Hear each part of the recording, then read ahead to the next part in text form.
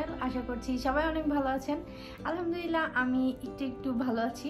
Yes another blog for you guys from Mehnaz blogs in এসে আমি মেহনাজ বলছি south Africa থেকে। ওই যে বলছিলাম যে একটু একটু ভালো আছি, তার কারণ হচ্ছে আমি last fifteen to twenty days অনেক বেশি সিক ছিলাম, যে কারণে আসলে ভ্লগ রেগুলার আমি দিতে পারিনি। ইনফ্যাক্ট আমি আপনাদের কাছ থেকে অনেক মেসেজ পেয়েছি I am really very blessed যে আপনারা অনেকেই আছেন যারা আমার খবর নিয়েছেন যে আপু কি হয়েছে, কোনো প্রবলেম হয়েছে কি না যে আপনি এখনও কোনো ব্লগ দিচ্ছেন না। ইনফ্যাক্ট আমি মেবি লাস্ট টোয়েন্টি ডেজ কোনো ভ্লগ আমি আপলোড করতে পারিনি। আমি এতটাই বেশি অসুস্থ ছিলাম। তো আজকে অনেকদিন পরে আবারও ভ্লগ নিয়ে চলে আসলাম। তো বলেই দিলাম যে আমি অনেক অসুস্থ ছিলাম। আসলে আমার একটা ফ্লু টাইপের সিকনেস ছিল, জ্বর, ঠান্ডা, গলা ব্যথা। সো এরকম কিছু একটা ফ্লু ছিল, যেটা আসলে অনেক স্ট্রং ছিল। সো এই কারণে আমার কিছুই ভালো লাগছিল না। ইনফ্যাক্ট এখন পর্যন্ত আমি এইট্টি পার্সেন্ট সুস্থ এখনও টোয়েন্টি পার্সেন্ট সুস্থ হতে পারিনি। জ্বর, ঠান্ডা, গলা ব্যথা এখন আর একেবারেই নেই। সব কিছুই শেষ হয়ে গিয়েছে। তারপরেও আসলে উইকনেসটা আছে, কিছু ভালো লাগছে না। যা করছি কিছু ভালো লাগতেছে না, এরকম কিছু। সো হঠাৎ করে নাইম বলল যে, দেখো, যদি তোমার অফিস থেকে তুমি ছুটি ম্যানেজ করতে পারো দেন চলো আমরা একটু ঘুরে আসি। অনেকদিন আমরা কোথাও ঘুরতেও যাইনি, যে কারণে আসলে বোর হয়ে গিয়েছি অনেক বেশি। আমি, নাইম দুজনে অনেক বেশি ঘুরতে পছন্দ করি স্পেশালি যারা আমাকে পার্সোনালি চিনেন। সো তারা হয়তো জেনে থাকবেন যে, আমরা অনেক বেশি ঘোরাঘুরি করি। সো লাস্ট টেন মান্থ আমি আসলে কোথাও যাইনি, আসলে সব জায়গায় সিচুয়েশন খারাপ ছিল। আই থিঙ্ক কেউই যেতে পারেনি। সো এখন সিচুয়েশন আগের থেকে অনেক বেশি ভালো। সো আমি আসলে সুস্থ হয়ে গিয়েছি আরও চার পাঁচ দিন আগেই। আমি অফিসে ছুটির জন্য অ্যাপ্লাই করেছিলাম, আলহামদুলিল্লাহ আমি ছুটিও পেয়ে গিয়েছি। সো আজকে ইনশাল্লাহ এখন আমাদের এখানে ঘড়িতে বাজে রাত সাড়ে নয়টা। আজকে রাত ভোরবেলা মানে রাত ভোরের দিকে মেবি এটা মেবি না, আসলে চারটার দিকে। চারটার দিকে আমরা বের হয়ে যাব আমাদের হলিডের উদ্দেশ্যে। বাজে, আমাদের এখন ঘড়িতে বাজে রাত সাড়ে নয়টা। আমি অলমোস্ট সব কিছু গুছগাছ করে ফেলেছি। আমার নাইমের সব কিছু গোছানো শেষ। নাইম এখনও বাসায় আসেনি। নাইম বাসায় আসলে আমরা খাওয়া দাওয়া করে অনেক তাড়াতাড়ি ঘুমিয়ে পড়ব। তার কারণ হচ্ছে তিনটার দিকে, রাত তিনটায় আমার উঠতে হবে এবং ভোর চারটার দিকে আমরা ইনশাল্লাহ রওনা হয়ে যাব ডারবানের উদ্দেশ্যে। আমরা আসলে শর্ট ট্রিপ এটার কোনো প্ল্যানিং ছিল না, আর অফিস থেকেও আমি অনেক বেশি ছুটি ম্যানেজ করতে পারিনি, কারণ হচ্ছে সামনে ডিসেম্বর ডিসেম্বরে অনেক লং একটা ভ্যাকেশন আমাদের থাকে অফিস থেকে। সো দ্যাট ইজ ওয়াই আসলে খুব শর্ট একটা ট্রিপ তারপরেও মনে হচ্ছে যে না গেলে অনেক ভালো লাগবে, কারণ লাইফটা অনেক বেশি বোর হয়ে গিয়েছে প্লাস কেমন একটা মানে ভালো লাগছে না, যা করছি কিছু ভালো লাগছে না অফিসে যাচ্ছি ভালো লাগছে না, কিছু খেতে ইচ্ছে করছে না, কিছু ভালো লাগছে না। সো তার জন্যই হচ্ছে এই হলিডের কি বলে প্ল্যান করা হয়েছে খুবই হুটহাট করে।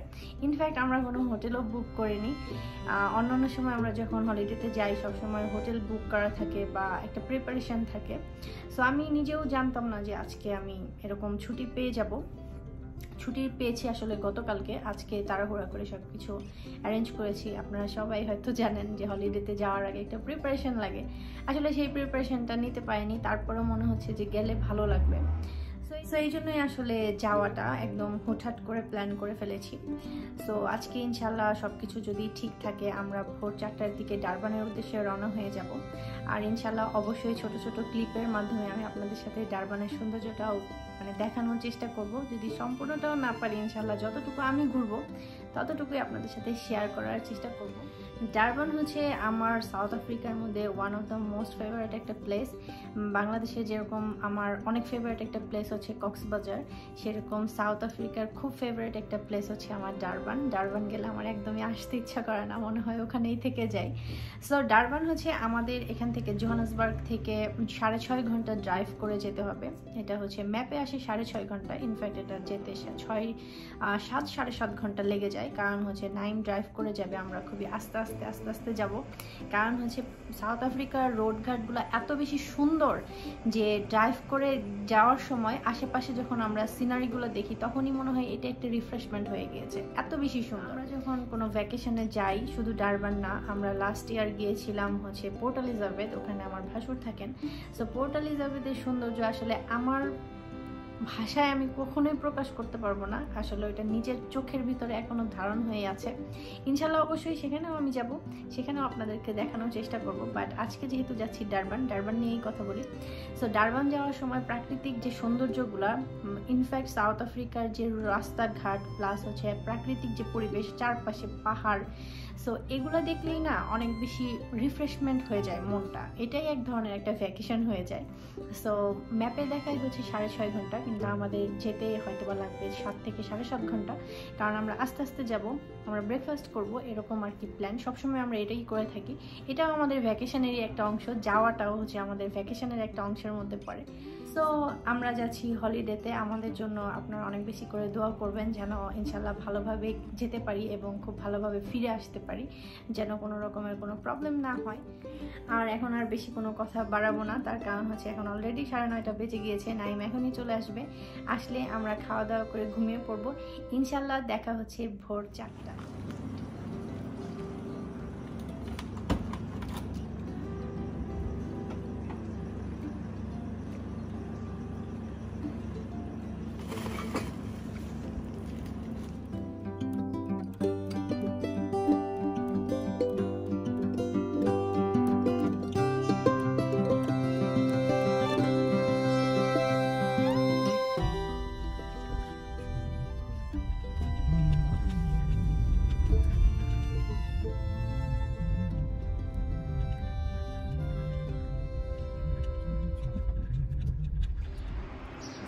আছি একটা গ্যারেজে। আমরা অলরেডি বাসা থেকে রওনা দিয়ে দিয়েছি। এখন আমাদের এখানে বাজে ভোর চারটা। সো এখন আমরা গ্যারেজ থেকে আমাদের পেট্রোল ফুল করে নিয়ে দেন আমরা রওনা দিয়ে দিব ডারবানের উদ্দেশ্যে।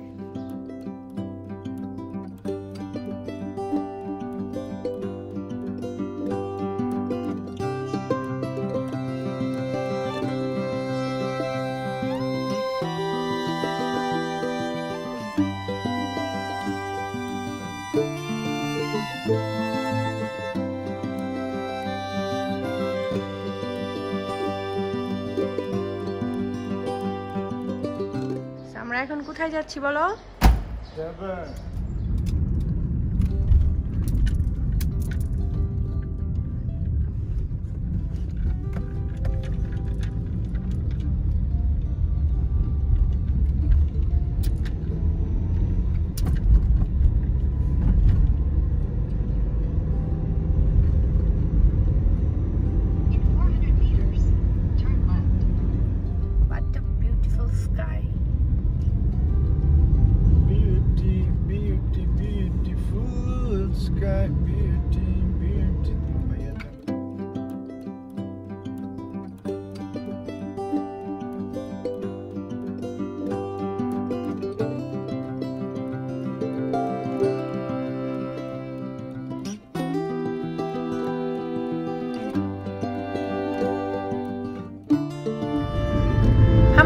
আছি অন দ্য ওয়েতে অলমোস্ট এখন সকাল হয়ে যাচ্ছে সানসেট দেখছি।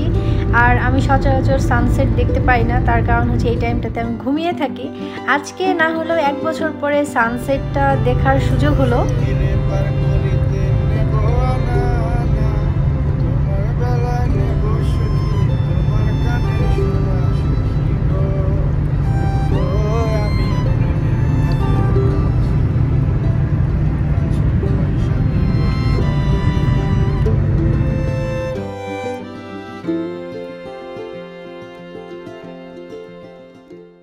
ডারবান যাওয়ার সময় রাস্তার চারপাশে যে পাহাড়গুলো আসলে পড়ে, এগুলো এত বেশি সুন্দর।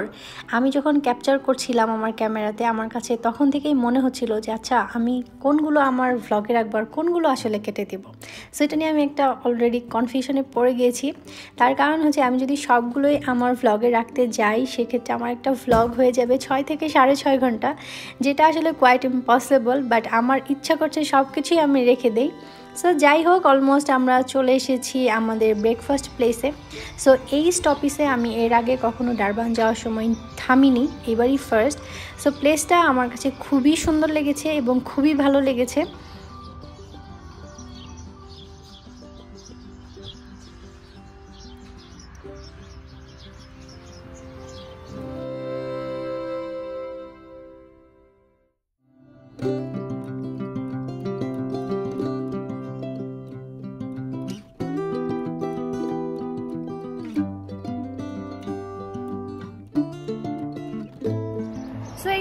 এসেছিলাম ব্রেকফাস্ট করার জন্য। আসলে প্লেসটা হালাল না থাকার কারণে এখানে ব্রেকফাস্ট করা হলো না। এখন অন্য কোথাও যেতে হবে ব্রেকফাস্ট করতে। সো লেটস কোথায় ব্রেকফাস্ট করা যায়।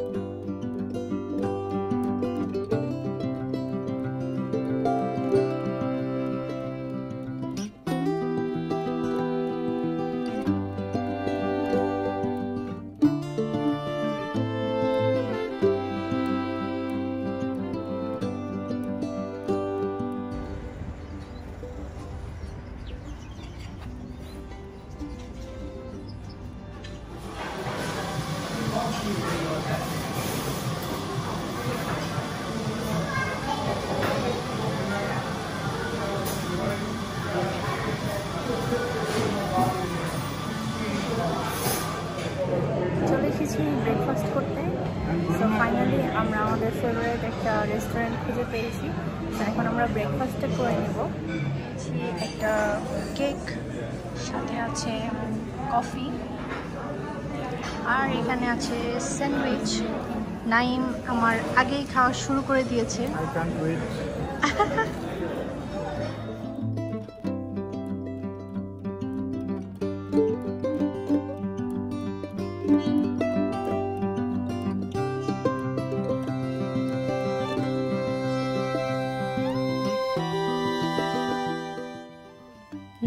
ডারবান পৌঁছাতে আমাদের সময় লাগে সাত থেকে সাড়ে সাত ঘণ্টা। বাট আজকে অলমোস্ট এক ঘণ্টা আমরা লেট করে ফেলেছি, তার কারণ হচ্ছে আমরা ব্রেকফাস্টের জন্য আজকে দুই জায়গায় স্টপেজ নিয়েছি। সো যাই হোক, আমরা অলমোস্ট ইন ডারবান আমাদের আর টেন মিনিটস সময় লাগবে।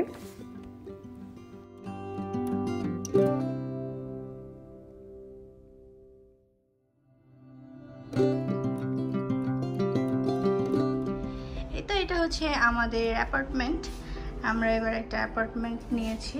কারণ হচ্ছে আমরা আগের থেকে বুকিং করে আসিনি। সো অ্যাপার্টমেন্ট পেয়েছি, এটা হচ্ছে ডাবল বেডরুমের সো এই তো লবি আর এখানে ছোট্ট একটা কিচেন আছে, যেটা আমার অনেক বেশি পছন্দ হয়েছে।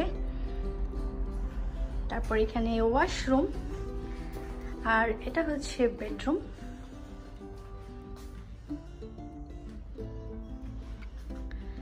আসলে হঠাৎ করে ট্রিপ হলে এটাই একটা প্রবলেম হয় যে আগে থেকে হোটেল বুকিং করে আসাটা হয় না। সো তারপর আমি সো হ্যাপি যে এরকম সুন্দর একটি অ্যাপার্টমেন্ট পেয়ে গিয়েছি। পাশটাতে হচ্ছে আরও একটা বেডরুম আছে। আসলে এই অ্যাপার্টমেন্টটা দুই ফ্যামিলির জন্য বেস্ট সো ইনশাল্লাহ নেক্সট টাইমে আমরা দুই ফ্যামিলি আসব। এবারই হয়তো বা লাস্ট আমরা এক ফ্যামিলি কোথাও যাচ্ছি। সো দুই ফ্যামিলি কারা সেটা হচ্ছে সারপ্রাইজ থাকবে সবার জন্য। ইনশাল্লাহ এরপরে আমরা দুই ফ্যামিলি একসাথে ট্যুর করব। সো এই তো এটা হচ্ছে আমাদের অ্যাপার্টমেন্ট এখানেই আমরা দুই তিন দিন থাকব আর কি। সো এই তো নাইম হচ্ছে বাইরে। তুমি কি করো? আর এই তো এটা হচ্ছে পোর্ট এরিয়া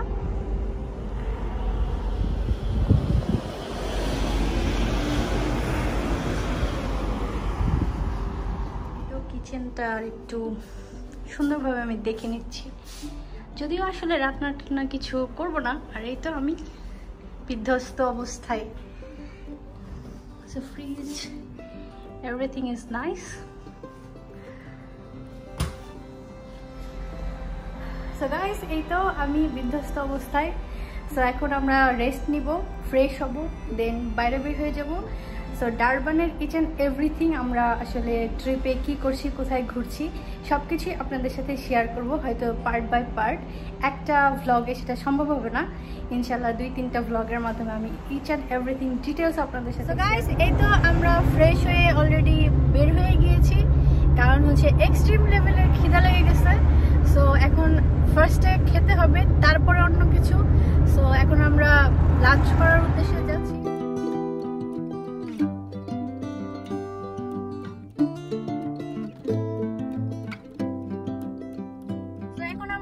আছি উমথালাঙ্গা বিচ সাইডে এই এরিয়াটা হচ্ছে রেস্টুরেন্টের জন্য খুবই পপুলার এখানে কিছু শপিং মলও আছে বাট এখানে রেস্টুরেন্টগুলোই হচ্ছে কমন সো আমরা আজকে এখানেই খেতে এসেছি।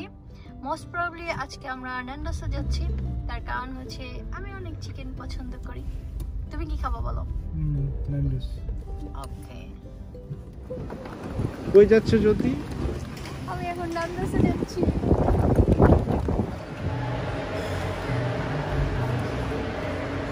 ম্যাডাম স্যানিটাইজ করতেছে এই তো গাইস চলে এসেছি ন্যান্ডোসে এখন আগে খেয়ে নিব, কারণ এক্সট্রিম লেভেলের হাঙ্গি সো নাইম গিয়েছি অর্ডার করতে, আর আমি এখানে ওয়েট করছি। খাওয়া দাওয়া করার পরে ইনশাল্লাহ আমরা উমথালাঙ্গা সি বিচের পাশে যাব। তো আপনাদেরকেও সেখানে নিয়ে যাব।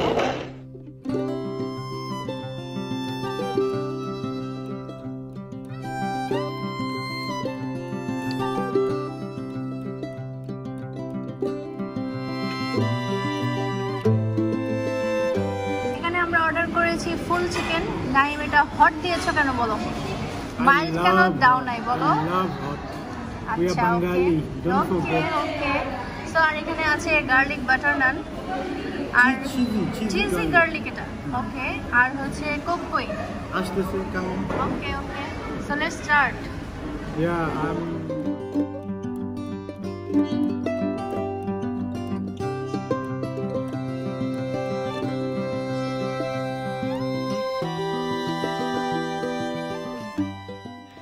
how খাওয়া শেষ করে এখন আমরা যাচ্ছি উমতালাঙ্গা সি বিচের পাশে। আজকে আমরা অনেক বেশি টায়ার্ড প্লাস ওয়েদারটাও খুব একটা ভালো না। সো এখন আমরা সি বিচের পাশে কিছুক্ষণ সময় স্পেন্ড করে ফিরে যাব আমাদের অ্যাপার্টমেন্টে হয়তো যাওয়ার সময় টুকিটাকি কিছু খাবার কিনে নিয়ে যাব রাতের জন্য। আজকে আর আমরা বের হব না। সো আজকের ভ্লগটি কেমন লেগেছে প্লিজ আমাকে কমেন্ট করে জানাবেন। যদি একটুও ভালো লাগে প্লিজ আমার চ্যানেলটি সাবস্ক্রাইব করবেন লাইক কমেন্ট শেয়ার করে আমাকে একটু হলেও সাপোর্ট করবেন। আর হ্যাঁ পার্ট টু দেখার আমন্ত্রণ কিন্তু রইল। দেখা হচ্ছে পার্ট টু ভ্লগে টিল দেন আল্লাহ হাফেজ!